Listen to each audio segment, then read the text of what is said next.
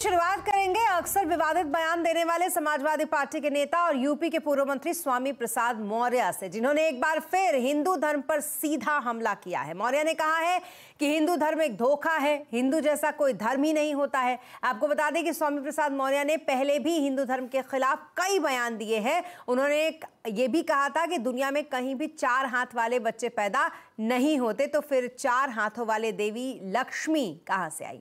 मौर्य ने एक बार यह भी कहा था कि रामचरितमानस में दलितों और महिलाओं का अपमान किया गया था, इस पर प्रतिबंध लगा देना चाहिए। इस बार स्वामी प्रसाद मौर्य ने संघ प्रमुख मोहन भागवत और प्रधानमंत्री नरेंद्र मोदी के बयान का उल्लेख भी किया। मौर्य ने कहा कि मोहन भागवत और पीएम मोदी कहते हैं कि हिंदू कोई धर्म नहीं, बल्कि जीने का एक तरीका है तो कोई बेहतर कुछ क्यों नहीं बोलता? लेकिन वो जब भी हिंदू धर्म पर टिप्पणी करते हैं तो अशांति फैल जाती है। क्या कुछ कहा है उन्होंने? एक बार सुनिए। देश के माननीय प्रधानमंत्री जी ने भी कहा, माननीय मोदी ने भी कहा, हिंदू धर्म धर्म नहीं है। और अभी एक दो महीने पहले माननीय गडकरी जी ने भी कहा, एक मीडिया कॉन्क्लेव में कहा। लेकिन इन लोगों के कहने से किसी की भावना आहत नहीं होती है।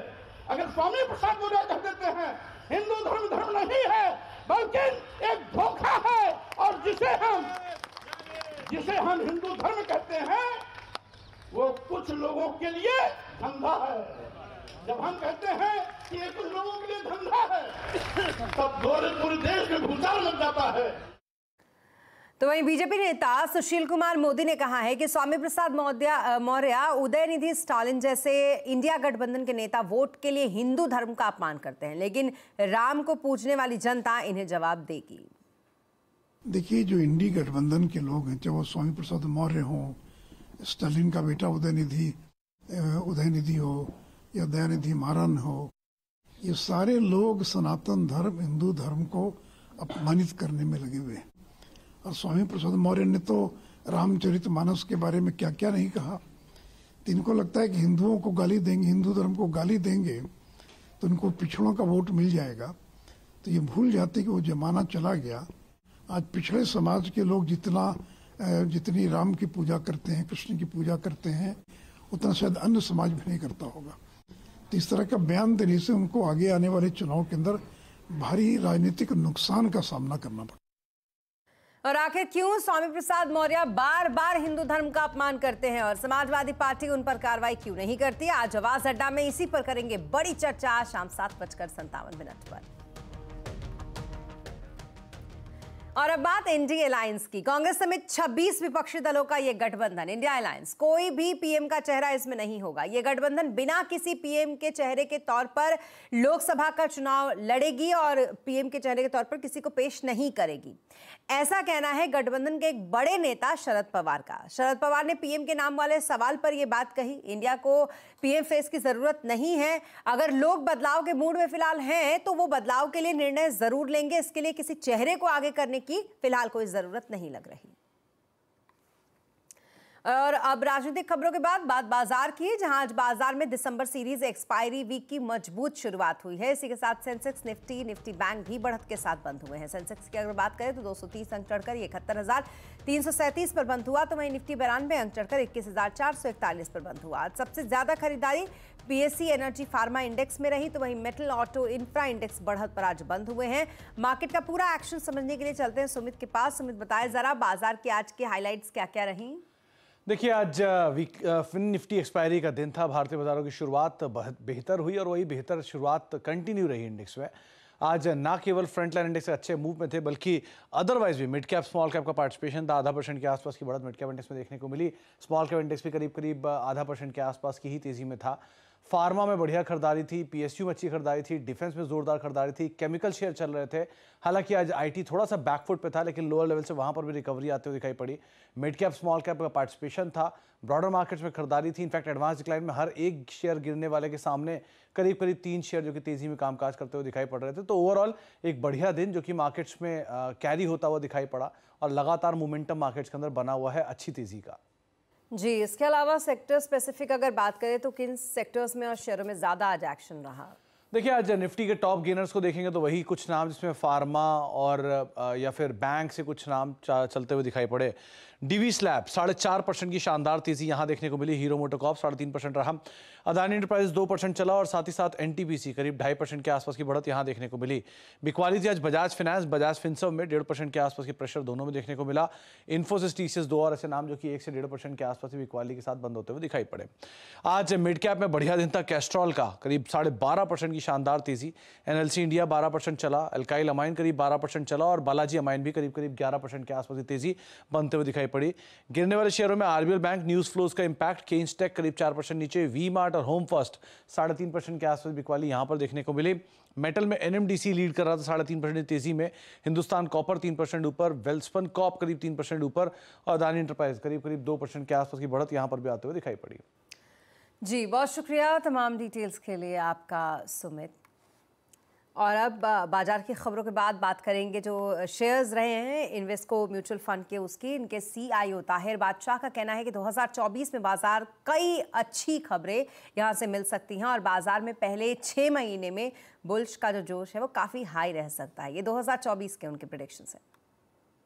2024 मुझे लगता है कि Uh, yes, uh, conditions are uh, absolutely favorable uh, in many ways. Global conditions यार देखे यार domestic conditions reasonably favorable है. Uh, plus uh, जैसे आपको पता है कि we are sitting at the peak of the interest rate cycle और जो uh, mostly probabilistically हम कह सकते हैं कि मतलब interest rates आगे जाके uh, घटने की संभावना ज़्यादा है to going up or staying at the same level. Uh, तो uh, uh, कुछ हद तक मुझे लगता है कि उसका benefit हमें uh, 2024 से आना या मिलना शुरू हो जाएगा। लेकिन, और उसके चलते हुए मुझे लगता है कि मार्केट की परफॉर्मेंस अच्छी रह सकती है in the first half of 2024 और अब क्योंकि 2023 खत्म होने के बाद कुछ चंद वक्त ही इसमें बचे हैं, अब वक्त है उन शेयरों को डीकोड करने का, जिन्होंने 2023 में धमाल मचाया है। कौन रहे 2023 के बाहुबली, महारथी और सुपर हीरो बताने के लिए एक बार फिर हमारे साथ जुड़ रहे हैं सुमित मेहरोत्रा। सुमित, बताएँ जरा 2023 के बाहुबली शेयर्स के बारे में। तो 2023 जो कि निफ्टी के लिए एक शानदार साल रहा, इनफैक्ट बाज़ार के लिए शानदार साल रहा, जबकि 18-20 परसेंट के आसपास रिटर्न तो फ्रंटलाइन इंडेक्स में आए। और 20 परसेंट या 30 परसेंट प्लस रिटर्न आपको मिड कैप स्मॉल कैप में आते हुए दिखाई पड़े। लेकिन कुछ स्टॉक जिन्होंने एक बढ़िया तेज़ी दिखाई, उसमें दिग्गजों में टाटा मोटर्स छियासी परसेंट की शानदार तेज़ी एनटीपीसी पिचासी परसेंट का एक बढ़िया उछाल, बजाज ऑटो अस्सी परसेंट के आसपास का उछाल यहाँ पर आता हुआ दिखाई पड़ा। इतना ही नहीं, कुछ और दिग्गजों की अगर बात की जाए तो एलएनटी सत्तर परसेंट की शानदार तेज़ी, कोल इंडिया करीब करीब पैंसठ परसेंट। एक लंबे अंतराल के बाद बढ़िया तेज़ी यहाँ आते हुए दिखाई पड़ी और हीरो मोटोकॉप साल के सेकंड हाफ़ में चला, पचास परसेंट की तेज़ी और पावर ग्रिड करीब करीब पचास परसेंट का रिटर्न यहाँ से आता हुआ दिखाई पड़ा। मिड कैप की पूरी तेज़ी रही पीएसयूज के नाम, जहाँ पर आरईसी और पीएफसी करीब 250 परसेंट से ज़्यादा का उछाल यहाँ रहा। आईआरएफसी करीब 200 परसेंट के आसपास की तेज़ी यहाँ पर भी आते हुए दिखाई पड़ी। इसके अलावा Mazagon dock rail Vikas Nigam limited, करीब एक सौ से लेकर पौने 200 परसेंट तक की तेज़ी यहाँ देखने को मिली और बीएचसीएल और प्रेस्टीज स्टेट, रफली डेढ़ परसेंट के आसपास का उछाल यहाँ पर भी आता हुआ दिखाई पड़ा। अगर कुछ स्मॉल कैप के सुपर हीरो की बात की जाए तो बीएससी ने लीड किया। साढ़े तीन सौ परसेंट के आसपास की तेज़ी, सुजलॉन ढाई सौ परसेंट का एक बढ़िया उछाल, अपार इंडस्ट्रीज़, करीब 215 परसेंट के आसपास की बढ़िया तेज़ी यहाँ बनते हुए दिखाई पड़ी। साइंट और जेंसार कुछ और ऐसे नाम जो कि करीब 200 परसेंट चले।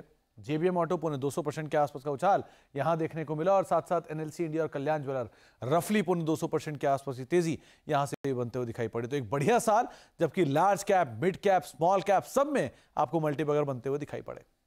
जी, बहुत शुक्रिया तमाम डिटेल्स के लिए आपका सुमित। और आज बाज़ार में मोतीसंस ज्वेलर्स की शानदार लिस्टिंग हुई है। आईपीओ ने शेयर मार्केट में डेब्यू करते ही निवेशकों को माला माल कर दिया। एनएससी पर शेयर करीब अंठानवे फ़ीसदी प्रीमियम पर एक सौ प्रति शेयर के भाव पर लिस्ट हुआ।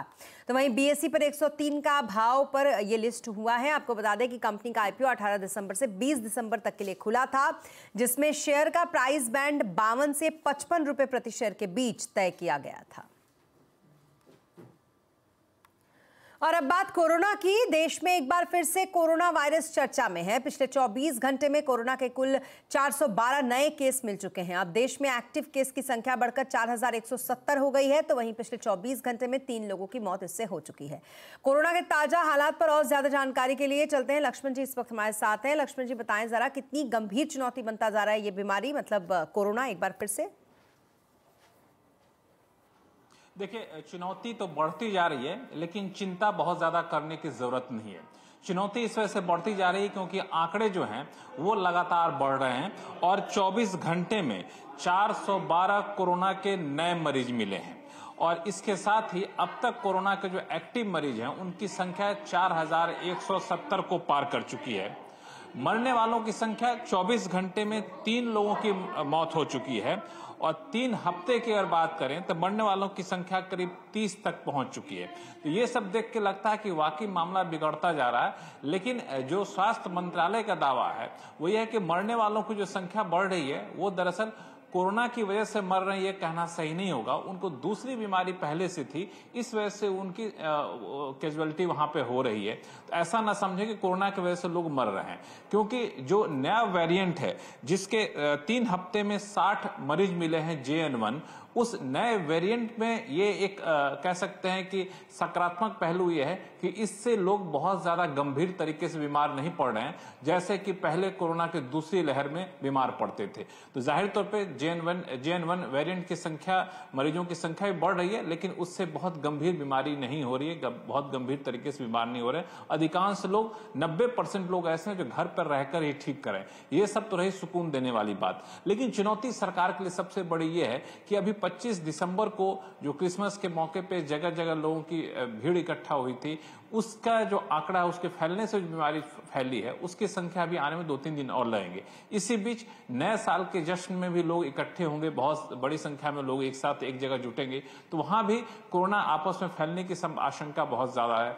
तो एक नए साल के मौके पर किस तरह से प्रोटोकॉल तय किया जाए, इस पर सरकार विचार कर सकती है। और नए साल के जश्न के मौके पर हो सकता है कोरोना मरीजों की संख्या तेज़ी से बढ़े, इसको कैसे रोकी जाए, ये सरकार के लिए एक बड़ी चुनौती होगी। जी, बहुत शुक्रिया तमाम डिटेल्स के लिए आपका, लक्ष्मण जी।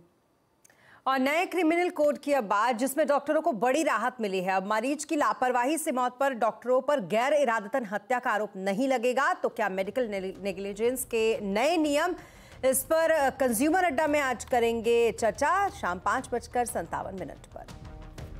आपका स्वागत है। प्रधानमंत्री नरेंद्र मोदी आज नई दिल्ली में भारत मंडपम में आयोजित वीर बाल दिवस के कार्यक्रम में हिस्सा उन्होंने लिया। इस दौरान उन्होंने युवाओं के एक मार्च पास्ट को भी हरी झंडी दिखाई। कार्यक्रम में प्रधानमंत्री मोदी ने कहा कि आज़ादी के अमृत काल में वीर बाल दिवस के रूप में एक नया अध्याय शुरू हुआ था। आज़ादी के अमृत काल में वीर बाल दिवस के रूप में एक नया अध्याय प्रारंभ हुआ है। पिछले वर्ष देश ने पहली बार 26 दिसंबर को वीर बाल दिवस के तौर पर मनाया था। तब पूरे देश में सभी ने भाव विभोर होकर साहिब जादों की वीर गाथाओं को सुना था। और अब बार भारत के स्वदेशी जंगी जहाज़ आईएनएस इम्फाल की करेंगे, जो भारतीय नौसेना में शामिल हो गया। इसकी कमीशनिंग रक्षा मंत्री राजनाथ सिंह की मौजूदगी में हुई। इस दौरान महाराष्ट्र के मुख्यमंत्री एकनाथ शिंदे और मणिपुर के मुख्यमंत्री आर बीरेन्द्र सिंह भी मौजूद रहे। हमारे संवाददाता विवेक गुप्ता ने युद्धपोत का जायजा लिया। आप भी देखें। इस तरीके से जहाज़ के अंदर सीढ़ियाँ बनी होती हैं, ताकि आने जाने में लोगों को ज़्यादा तकलीफ़ ना हो, क्योंकि मैंने आपको बताया कि जहाज़ के अंदर जगह कम होने की वजह से सब कुछ बहुत ज़्यादा कॉम्पैक्ट होता है। छोटी छोटी सीढ़ियाँ होती हैं छोटी छोटी जगह होती हैं, ताकि लोग एक दूसरी जगह से मूवमेंट कर सकें। इस तरीके से जहाज़ के जो डिपार्टमेंट है, जो कंपार्टमेंट है, वो अलग अलग हिस्सों में बटे रहते हैं, ताकि जो आने जाने में लोगों को तकलीफ़ ना हो। हर एक जगह पर एक जो, एक रूट आने का रहता है, एक रूट जाने का रहता है। इस तरीके से सीढ़िया को जो रास्ता है, वो भी ज़्यादा कॉम्पैक्ट होती है। जहाज़ के अंदर अमूमन लोग बहुत कम पहुँच पाते हैं, क्योंकि लेमेन को पता नहीं होता कि आखिरकार वॉरशिप आप बाहर से देखते होंगे, समुद्र के ऊपर देखते होंगे, लेकिन अंदर से कैसा वॉरशिप होता है, ये देखिए। इस तरीके से ये पूरा वॉरशिप होता है, और साफ़ तौर पर हर एक जगह पर आपको वायर, जो वायर्स होते हैं, मशीनें होती हैं, वो दिखती हुई मिलेंगी। सामने बड़ी बड़ी मशीनें लगी हुई हैं, वो दिखती हुई मिलेंगी। इस तरीके से बिल्कुल ऐसा लग रहा है कि किसी, जो एक जो फैक्ट्री होती है, वहाँ पे हम मौजूद हैं। लेकिन ये पूरा वॉरशिप है और सबसे पहले मैं आपको दिखाऊँगा कि डैमेज कंट्रोल रूम क्या होता है डैमेज कंट्रोल रूम का रोल क्या होता है। वहाँ पर अभी हम पहुँचे हुए हैं और साफ़ तौर पर ये जो कंट्रोल रूम है, वो काफ़ी ज़्यादा इंपॉर्टेंट होता है। देखिए, सबसे पहले आईएनएस यहाँ पे फायर फ्लड चेक अगर इस जहाज़ में फायर हो जाए या कोई फ्लड हो जाए या फिर कोई अटैक जैसी सिचुएशन हो जाए तो किस तरीके से यहाँ पर डैमेज कंट्रोल को किया जाता है? डैमेज रूम में ये आप आपने अंदर से देखा कि आखिरकार किस तरीके से ये आईएनएस इम्फाल है। लेकिन जो कमांडर है जोरावर उन्होंने बताया कि आईएनएस इम्फाल ब्रह्मोस मिसाइल और बराक मिसाइलों से बिल्कुल लैस है। आईएनएस इम्फाल की जो खासियत है वो जानने के लिए कमांडर जोरावर से खास बातचीत की हमारे संवाददाता विवेक गुप्ता ने। आप भी सुनिए। सर आपसे जानना चाहेंगे कि ये जो पोजीशन है ये जो एरिया है वो कितना इंपॉर्टेंट है? इस डेक जिस पर आप खड़े हैं इसको ब्रह्मोस डेक बोलते हैं। जैसे आप देख सकते हैं ये ब्रह्मोस मिसाइल है जो कि सरफेस टू सरफेस मिसाइल है। जो कि हमारी शिप पर बहुत anti ship as well as land attack role में यूज़ करी जा सकती है। और हमने लास्ट मंथ या पिछले महीने 21 नवंबर 23 को अपना ब्रह्मोस को सक्सेसफुली टेस्ट फायर कर कर एक शिप को एंगेज करा था। और अब बात करेंगे एक बहुत ही सस्पिशियस विमान की। दरअसल मानव तस्करी का इसके ऊपर शक था और ये विमान आज मुंबई में लैंड हुआ है। इस विमान को चार दिन फ्रांस में रोका गया था, जिसके बाद इसने 25 दिसंबर की शान पेरिस के वॉट्री एयरपोर्ट से उड़ान भरी थी और आज सुबह चार बजे ये मुंबई एयरपोर्ट पर लैंड हुआ है। अब रिपोर्ट के मुताबिक इस विमान में दो सौ छिहत्तर लोग सवार थे और इनमें से जो ज़्यादातर लोग थे वो पंजाब, गुजरात और दक्षिण भारत के थे। इस विमान के एयरपोर्ट पर पहुँचते ही जो सीआईएसएफ के जवान थे, उन्होंने सभी यात्रियों से इसको लेकर पूछताछ भी की।